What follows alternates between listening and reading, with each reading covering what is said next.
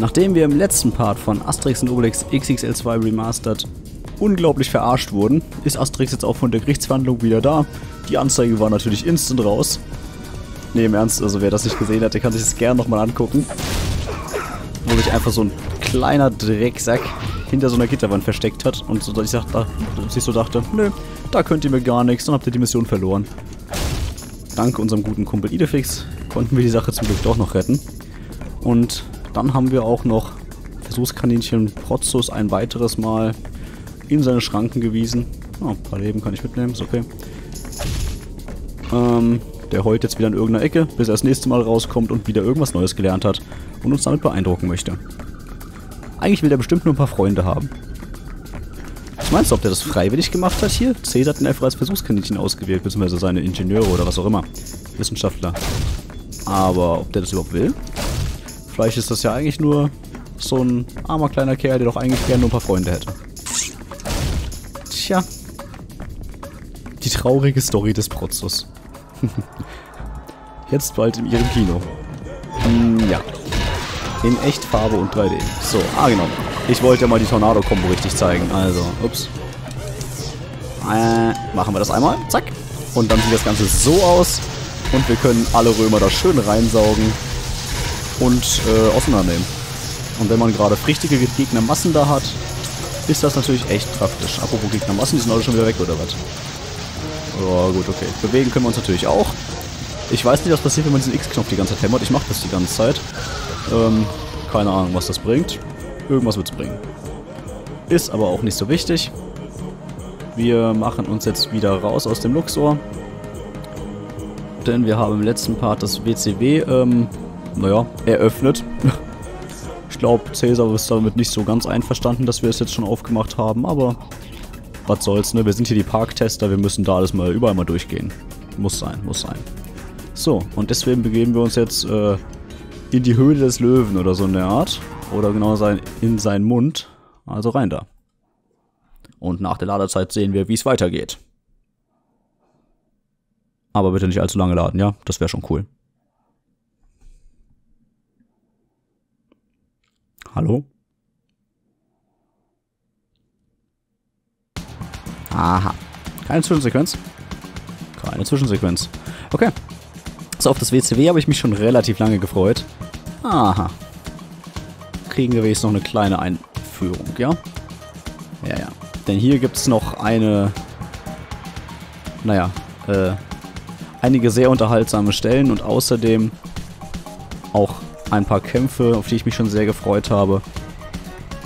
Weil die nämlich so als Herausforderung, ähm, naja, verpackt sind sozusagen. Da sind wir dann in so einem Stadion und können mal richtig auf den Putz hauen. Aber das sieht man dann alles gleich noch. Wobei ich sagen muss, dass ich die im Original auch cooler fand. Ah ja, eine Röhre. Unser Klempner muss ganz schön dick geworden sein, wenn wir so eine große Röhre dafür brauchen. Eieiei. So, wir sehen, die Römer äh, haben mittlerweile ihre Rüstung und so weiter ein bisschen aufgerüstet. Ihre Speere sind ein bisschen gefährlicher. Und auch die Centurios sehen irgendwie ein bisschen grimmiger aus als vorher. Nicht mehr golden, sondern jetzt so einem... Ah, äh, ja, grau, dunkelgrau. Es wird langsam kritischer. Ach, wir können die auch schon von hier füllen. Dann machen wir das doch einfach. Na komm. So. Alles gar kein Ding. Hallo? Danke. Was ist Die können nerven, die Viecher. So. Ähm, ups. Eigentlich wollte ich nicht den Mario, der da oben steht, anvisieren. Äh, ja, Pablo natürlich, ne? Ja, ich bleib bei Mario.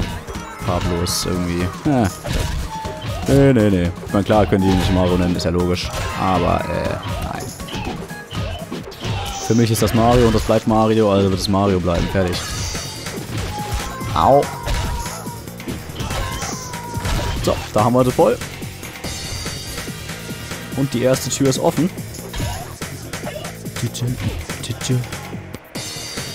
Ich hab nen Herzinfarkt, du mal. Ich hab nen Herzinfarkt, oh ey. Ich hab nen Herzinfarkt, du mal. Ey, bei der Musik, da muss ich einfach immer mitsingen. Ich weiß auch nicht. Es tut mir leid. Oha, da sind die drei Dolche, die ich irgendwann schon mal angekündigt hatte. Und denen lassen wir uns nicht beirren. Oder vielleicht auch doch. Ich wollte die Helme... Ich wollte die Helme da oben einsammeln. Wow. Der zerstört uns buchstäblich den Boden unterm Hintern weg. Ähm, so. Zack. Kannst mich mal, Kollege. So. Ähm, gut. Jetzt ist die Frage, was machen wir zuerst? Ich glaube, wir machen zuerst mal diesen kleinen Sidequest-Krimskrams. Äh, das ist jetzt alles rein, bonusmäßig, was wir hier jetzt gleich machen. Aber was machen die denn da vorne? Machen die irgendwelche Exerzierübungen oder wie? Interessant. Wir machen das.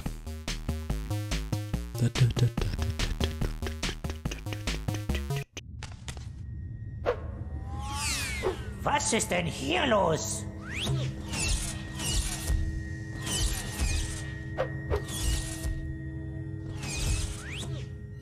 Ganz schön Action. Beeindruckend, was? Das, Gallier, ist die Zukunft. Cäsars Ingenieure haben ein ultraschnelles Nachrichtensystem entwickelt, das Nachrichten ultraschnell von einem Ort zum anderen übermittelt. Nur die ultraschnellsten Legionäre überbringen die Nachrichten. Aha. Und wie nennt ihr dieses System? Das Internetus. Oh. Das Internetus. Dank dieses ultraschnellen Nachrichtensystems, das von den Ingenieuren Cäsars entwickelt wurde, können Nachrichten Ja, schon gut, wir haben's kapiert. Ja. so, jetzt kommen wir auch gleich. Also erstmal, ne, klar, selbst das Intel wird hier schön auf die Schippe genommen. So muss es sein. Da ist äh, eine Shine Sprite.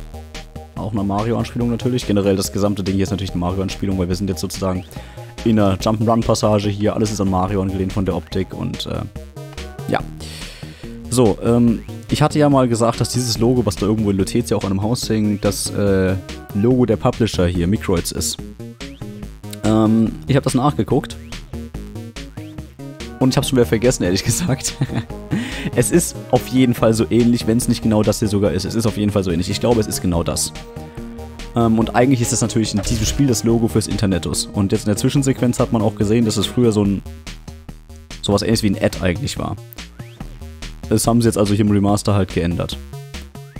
Finde ich, naja, bisschen schade eigentlich, weil man es mit dem Ad irgendwie besser erkennen konnte. Aber wenn sich die Publisher hier auch verewigen wollten, dann ist das natürlich okay für mich, von daher, was soll's. So, die Passage hier kann ein bisschen nervig sein, weil, ja, 2D Jump'n'Run, äh, 2D Jump'n'Run Passage im 3D-Stil. So, hier schalten wir den am besten schon vorher aus, damit er keinen Stress macht. Ich hoffe nur, dass das jetzt auch lang genug hält. Ja, tut's wunderbar, weil ansonsten macht er nämlich da echt Stress. So, Mario 64 lässt grüßen. Ähm, von denen am besten nicht runterschieben lassen, das ist ungemütlich. So, das da oben ist glaube ich auch der letzte Mario, der noch im Weg steht. Ich hoffe mal, dass der uns nicht... Ja, shit. Wir haben natürlich keinen Idefix, den wir vorschicken können, ist klar, weil der hier nicht mit hochkommt. Ah, der wird uns doch locker treffen. So, wir müssen halt hier ein bisschen Zeit schinden. Ah. Und dann angreifen. Jawohl. Sehr gut. Ist da drüben noch einer? Ah, shit, wir werden es nicht rausfinden. Jedenfalls nicht so. Nein, da ist keiner mehr. Sehr schön. Dann haben wir es sogar auf dem First Try geschafft. Normalerweise brauche ich hier mal einige Anläufe. Hier oben sollten wir jetzt eigentlich nicht mehr runterfliegen. Mach vor allem den Mario weg, du. Der ist der gefährlichste. Der Rest ist alles kein Ding. So.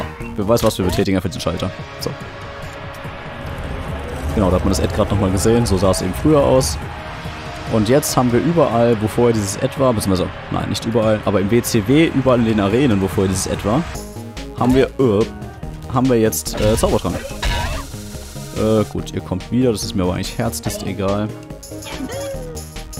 Äh, ich springe hier runter. So, und dann geht's da weiter. Und dann geht's durch die Röhre wieder zurück. Genau, das macht uns jetzt also einfach die Kämpfe ein bisschen einfacher. Weil einfach, einfach, einfach ist. Sehr schön. Das ist übrigens auch noch so ein Punkt, den ich am Remaster halt, ne, bisschen doof finde. Dadurch, dass die halt die Original-Zwischensequenzen einfach eins zu eins übernommen haben und wirklich nichts daran geändert haben, äh, sind halt auch die ganzen Texturen in den Zwischensequenzen noch die vom alten Spiel. Das heißt, wenn da irgendwas geändert wurde, wie zum Beispiel jetzt dieses Internet-Zeichen, dann ist das halt einfach äh, in den Zwischensequenzen nicht drin. Und das ist halt irgendwie ein bisschen schade. Weil das dadurch halt einfach so ein bisschen äh, unzusammenhängend wird. Aber hey. Übrigens hatte ich ja irgendwann mal gesagt, man kann Kombos nicht kaufen, ne? Ich habe Blödsinn gelabert, man kann Kombos kaufen. Nur im Original war es halt so, dass man die Kombos mit der Zeit freigeschaltet hat. Und zwar im WCW, nachdem man diese Mission frei gemacht hat. Egal. Äh, zerstörerische Aura. Wer hat das hier liegen lassen? Diese Technik ist viel zu mächtig. Schaltet die Zaubertrank-Kombo elektrische Kugel frei. Ja, ich hatte immer das Gefühl eigentlich, dass der Tornado die coolste Kombo ist und die stärkste, weil es halt auch im ersten Teil so war. Oder da war es Tornado-Fusion, aber naja. Äh, aber hier ist äh, eigentlich die Kugel auch ziemlich geil und vielleicht sogar ein bisschen geiler, wer weiß. Einen gibt's noch hier, Hinkelsteinregen, aber das haben wir jetzt noch nicht. So, zerstörerische Aura ist äh, AXBA. Okay, also dasselbe wie beim anderen, nur halt ohne Y diesmal. AXBA. Mal schauen, ob ich mir das alles merken kann. Ups, äh, ja, spontan mal direkt den falschen Knopf gedrückt. Danke dafür. Also ich habe jetzt nicht probiert, die Kombos zu führen, dass das nicht geht, weiß ich. Nur ich wollte eine Stampfattacke machen und habe in die Luft geschlagen. Ja, äh. Ne? Alles nicht so wild, da oben ist ein Schild. und was sich reimt, ist immer wahr oder so in der Art. Aber ich komme da gar nicht ran. Hm. Da waren wahrscheinlich Kisten, die ich zerstört habe. Okay. Was soll's. Ähm, wir haben da drüben diese eine Passage freigeschaltet. Da gucken wir jetzt auch direkt schon mal rein. Denn da wartet die erste Herausforderung auf uns. Bei der wir erstmal richtig schön gefeiert werden. Na endlich! Zwei mutige Abenteurer, die keine Herausforderung scheuen. Die Sache ist ganz einfach. Ihr müsst die Römer eliminieren, bevor die Arena von der Lava überströmt wird. Sehr verehrte Zuschauer, bitte die Nasen zuhalten. Es wird gleich nach geschmortem Gallier riechen. Brot und Spiele. So, und jetzt wird also Combo hier echt helfen. Zack. Wir machen die Kugel. Und laufen damit einfach mal ein paar Mal durchs Spielfeld. Wir sehen da links einen Counter. Und der geht runter, runter, runter. So, die Kugel wird immer größer, desto mehr wir da drauf hämmern. Also logischerweise auch gefährlicher. Und wir haben es auch gleich schon. Da links ist äh, der Timer. Der war am Original übrigens noch mit einem Dynamitfass, habe ich glaube ich auch schon mal erwähnt. Was ich besser fand, weil es da halt ein bisschen äh, vom Stil her besser passte. Aber das sind generell so Dinge, auf die werde ich in dem Fazit nochmal eingehen, wenn die Credits dann laufen. Und da werden wir das Spiel mal schön auseinanderpflücken. Wie gesagt, es macht mir durchaus Spaß, aber es könnte halt einfach an einigen Stellen besser remastered sein. So, wir sehen, die Lava steigt. Jetzt fällt sie wieder, weil wir haben es geschafft. Genau, jedes Mal, wenn man so eine Herausforderung geschafft hat, dann kriegt man auch einen Diamanthelm dafür. Das heißt, die Diamanthelme im WCW sind eigentlich echt einfach. Das erklärst du mir jetzt. ja, äh, ich spiele das Spiel jetzt mittlerweile schon ein bisschen und eigentlich sollte ich das rausgefunden haben, aber okay. Gut. Ja, ähm, man merkt nicht so wirklich viel davon, dass wir den schweren Modus spielen, weil, naja, seien wir mal jetzt ganz ehrlich, so schwer war dieser Kampf jetzt nicht. Aber okay, man muss ja auch nicht bei jedem Kampf sterben, ne? Ist ja schon in Ordnung. Und ein bisschen in Bedrängnis kommen werden wir wahrscheinlich später noch, weil es gibt nämlich... Oh, du nervst. Weil es gibt nämlich äh, natürlich nicht nur solche Kämpfe, sondern es gibt auch andere Arten von Kämpfen. Mit anderen Waffen zum Beispiel, aber das sehen wir alles noch. So, diesmal schalte ich dich am besten vorher aus, oder doch nicht. Aber den da drüben könnte ich vorher mal ausschalten. So. Ähm, oh, das kann nicht der Ernst sein. Er hat mich ernst noch, er hat mich echt noch erwischt. Ich weiß nicht ob man auch gleich von Teller zu Teller springen kann. Das könnte funktionieren, ich bin mir aber nicht ganz sicher. Hm, gut, dann weißt du was, ziehen wir diesmal auf den da. Nein, nicht auf den. Du Lappen. Ich hab, nee, ich hab nicht zwei getroffen. das kann doch nicht wahr sein. Ey, weißt du, gerade im Battle richtig Gas gegeben, richtig gezeigt, wo der Hammer hängt und jetzt, jetzt so eine Aktion hier. Der kann doch nicht dein Ernst sein. So, komm. Diesmal. Nein, nicht den da hinten. Oh Gott. Also nur so, man kann, wenn man auf dieser Schräge festhängt, nicht mehr springen. Ne? Ich hätte jetzt nichts mehr machen können. Ich war auf jeden Fall weg. Gut. Ähm, ja, das läuft ja super. Ne, man kann nicht von Plattform zu Plattform auf gar keinen Fall. So. Wir machen das diesmal so. Und so. Und jetzt passt das auch. So, jetzt lassen wir uns von die hier nicht verarschen. Von dir auch nicht. Ich mache mal gleich weg.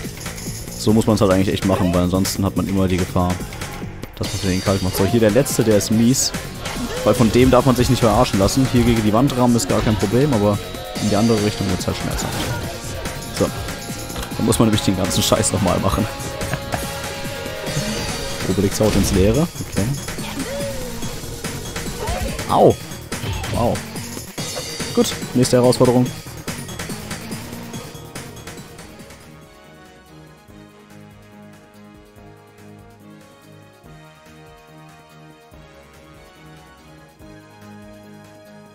Ich bin nie drauf gekommen, ob wirklich Cäsar ist, der da oben zuschaut, oder ob es einfach nur irgendwer ist, der da eine VIP-Lounge sitzt. Bisher hat es noch niemand geschafft, alle zu besiegen.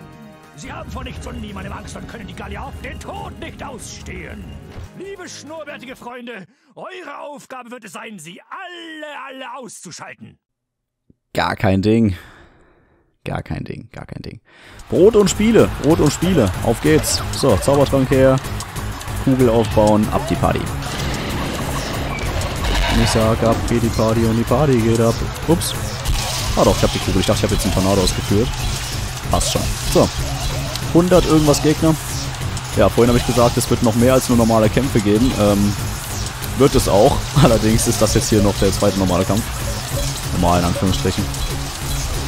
Oh. Ich sollte den Controller auf den Tisch hochheben, ansonsten vibriert der ganze Tisch. So, schön. Damit haben wir auch nur noch 40 von den Römern übrig. Die kann man jetzt auch noch ganz ohne Probleme so äh, erledigen. So, ähm... Früher habe ich mir auch manchmal äh, einen Spaß draus gemacht, das alles so zu machen, ohne Zaubertrank. Aber es dauert halt einfach nur länger und naja.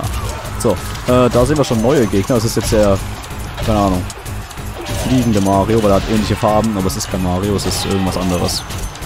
Weiß ehrlich gesagt nicht, der ist bestimmt auch eine Anspielung an irgendwen. Aber zugegebenermaßen weiß ich nicht an wen. Macht sich auch nicht so schlimm. Wir legen den einfach um, dann ist es in Ordnung.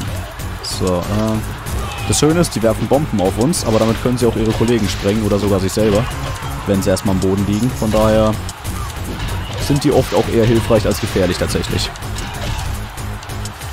So. Wir machen die alle weg. Das Miese an denen ist halt, dass sie fliegen, das heißt, man muss immer hochspringen, um die zu erwischen. Aber es ist eigentlich mit der Stampfattacke oder so auch kein Problem. Wir könnten uns mittlerweile sogar wahrscheinlich schon wieder einen Zaubertrank holen. Nein? Doch. Dachte ich mir doch.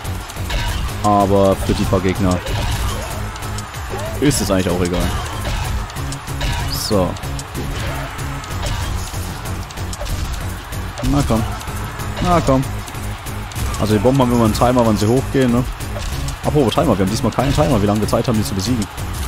Interessant. So. Man sieht noch die Zaubertrank-Explosion, okay. Schick.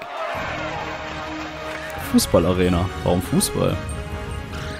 Äh? Also früher hießen die Dinge auch einfach nur Herausforderung 1, 2, 3, 4.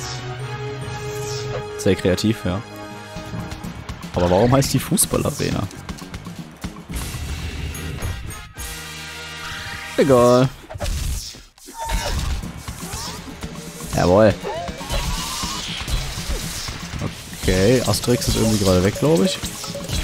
Egal. Ähm, weiß nicht, warum ich das jetzt gerade mache. Ich hatte noch Zaubertrank, deswegen warum nicht. Wir nehmen noch ein paar Kisten hier mit. Natürlich kann man die so auch zerstören, ne? Ist klar. So, springen können wir auch noch, von daher warum nicht. Wunderbar, wunderbar. So, ähm, ich glaube, hier gibt es ansonsten auch tatsächlich nichts mehr. Wobei eine Postkarte müsste uns noch hier irgendwie fehlen, oder? Ich glaube, hier müsste irgendwo eine Postkarte rumfliegen. Schauen wir ganz kurz nach. Ähm, Krieg des Internetos. Larry Crafts Geburtstag. Arena in Flammenfußball. Okay. Wir haben noch keine Postkarte. Ja, dann müsste hier, glaube ich, irgendwo eine Postkarte eigentlich sein. Okay. Methusalix Prüfung. Au.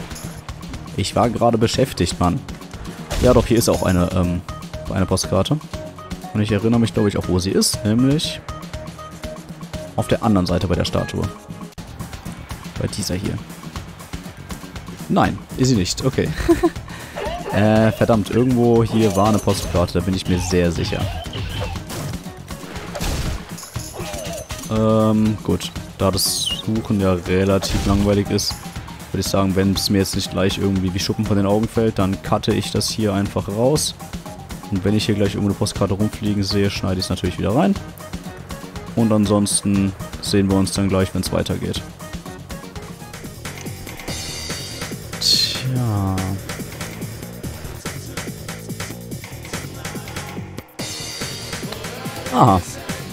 Da ist sie doch. War ich nicht genau da, als ich gesagt habe, hier müsste irgendwo eine Postkarte sein? Doch, ich glaube schon. Naja, immerhin habe ich mein Gedächtnis nicht betrogen. Ich wusste, dass da eine ist. Das ist doch schön. Ich wusste nicht mehr, wo sie war. Und ich habe sie nicht gesehen, obwohl sie genau offen da auf dem Weg rumlag. Gut. Ähm. Naja. Kann passieren, sollte nicht, aber ist okay. Ja, wir haben noch ein bisschen Zeit, um weiterzumachen. Also, warte. Verdammt, ich glaube, hier sind wir falsch. Sind wir hier? Hier waren wir auch schon, oder? Ja, ja, klar waren wir hier schon. Nein. Scheiße. Lass mich raus. Ernsthaft? Nein, was?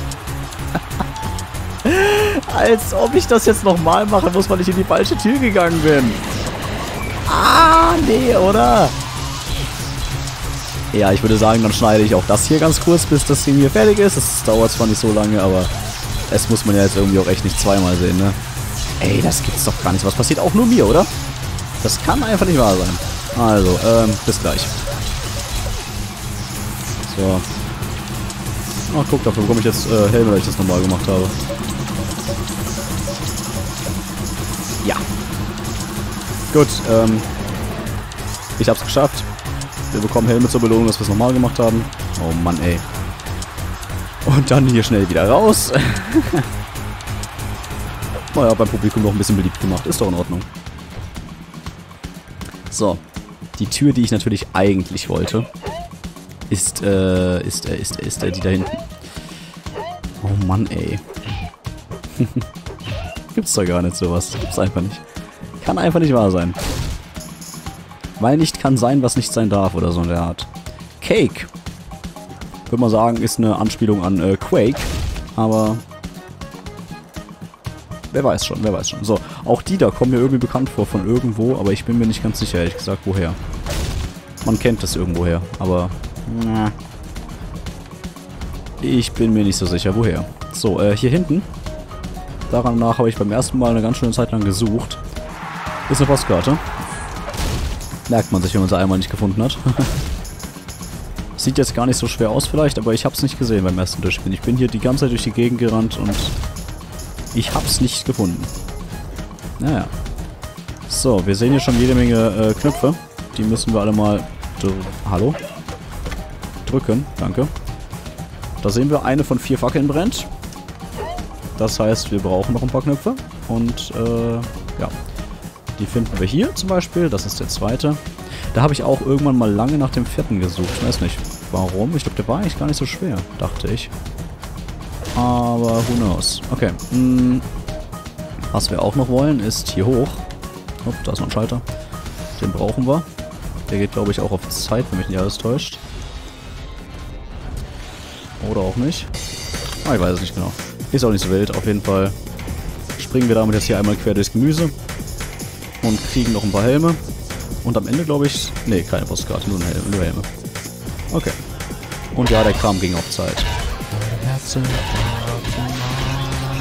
Ich krieg einen Herzinfarkt, oh yeah. Ja. es tut mir leid, es tut mir leid, aber die Musik, du... Immer wieder, immer wieder. So, dritte Fackel. Hübsche Farben haben sie da rausgesucht. Sehr hübsch, sehr hübsch. Und die vierte war hier an der, hinter der Kiste, glaube ich. Nein. Nein. Äh, dann da hinter der Kiste. Ah, ja, dort hinter der Kiste, oder? Äh, nein. Okay. Dann, äh, hier. Ah, ne, hinterm Automaten. Okay. Gilt auch. So. Wunderhübsch. Wirklich schön, das Feuer da. Hat was. So, da geht's weiter. Dafür haben wir auch noch theoretisch Zeit. Wobei das eine Herausforderung, die dauert ein bisschen länger, glaube ich. Ähm, wir machen mal das hier. Ich glaube, das geht ein bisschen schneller. So, natürlich hier die Devise, sich, mhm, sich nicht von den Fässern treffen zu lassen. Wir machen wieder einen auf Donkey Kong. Beziehungsweise, ouch, eben nicht Donkey Kong. Ouch. Au. Eieieiei. Also später gibt es sowas übrigens mit einem Zeitlimit. Das heißt, äh, wir sollten... Sag mal, bin ich irgendwie besoffen? Ich schaff's nicht! Es kann nicht dein Ernst sein. Ich bin gerade echt zu blöd dafür. Ich gehe hier wahrscheinlich gleich Game Over. Ah, danke. Ja, wir sollten das Ganze jetzt üben, wo wir die Zeit dazu haben, weil, wie gesagt, später mit Zeitlimit und so weiter. Eigentlich ist es auch nicht so schwer, dachte ich, aber offensichtlich, ähm, ja. Nein. offensichtlich bin ich gerade nicht so in äh, Topform. Naja, was soll's, wir haben's. Wir sind ganz oben und springen hier wieder runter. Mit dem Flammensturzflug, Superangriff, Combo des was auch immer was, Verderbens und äh, genau, machen damit Platz zu neuen äh, Wegen, Möglichkeiten, Welten, what auch ever. Und jetzt gehen wir nochmal ganz kurz shoppen. Der wird mich gleich treffen, sobald ich wieder rausgehe. Aber was soll's. Ähm, ach, sogar zwei. Oh, verdammt, so viel Geld habe ich gar nicht. okay, dann müssen wir uns jetzt entscheiden, was wir nehmen. Das ist ja fies. Also, wir haben einmal aus dem Handgelenk. Diese Römer werden von Tag zu Tag flexibler. Unglaublich. Der Peitschenangriff kann sechsmal mit demselben Römer. Das ist schon, das ist schon gut. Die Peitsche mache ich schon gerne. Normalerweise hat man drei, jetzt sechs ist schon stark. Ansonsten haben wir das römische Katapult. Das Herumwerfen und Schmettern von Römern ist euch zur Gewohnheit geworden. Von Schockwellen erfasste Römer werden mit 50%iger Wahrscheinlichkeit betäubt. Auch geil. Aber ich glaube, das ist besser hier. Das ist, doch, doch, doch, das machen wir. Sechsmal Peitsche ist schon gut. Ach, guck, hier, zwei Leben. Mhm, können wir uns auch nicht mehr leisten. Ich sag's ja, später wird man Geld brauchen. Ja, habe ich doch gesagt. Habe ich doch gesagt. Larry Croft. Hm, der kostet auch gleich mal ein Tausender. Ja. Ja. Bulliger Metaphanrömer. fliegender Römer. Der ist einfach nur fliegender Römer. Woher kennt man den denn? Da, den kenne ich aus irgendwas. Ist es Inspector Gadget vielleicht irgendwie? Eine Anspielung darauf. Das könnte sein. Das könnte sein. Aber wer weiß. Ich weiß es nicht. Ähm, tja. Äh, au! Au, au, au, au, au, au. Ja, da müssen wir ordentlich sparen noch ein bisschen, würde ich sagen. Und damit fangen wir auch gleich an, indem wir hier den ganzen Kram einsammeln. Und dann stelle ich mich mal hier oben hin, wo ich hoffentlich nicht getroffen werde. Hier übrigens die Kameras am Boden, ne? Äh, doch, ich werde hier auch angegriffen. Kann ich mich hier wenigstens verstecken? Ja, die haben da zwar einen kleinen Zitteranfall, aber das passt schon. Okay. Ja, dann würde ich sagen, verstecken wir uns hier so lange, bis der nächste Part beginnt. Ich hoffe, ihr lasst einen Daumen bei diesem da, habt gerne zugesehen und dann sehen wir uns beim nächsten wieder. Bis dann und ciao. Wenn ihr jetzt direkt noch ein Video sehen wollt, findet ihr das oben rechts in der Ecke. Direkt darunter könnt ihr zu einer Übersicht aller Videos dieses Projekts gelangen. Solltet ihr Lust auf noch mehr geile Projekte haben, könnt ihr das Video gerne positiv bewerten und auf der linken Seite ein kostenloses Abo dalassen.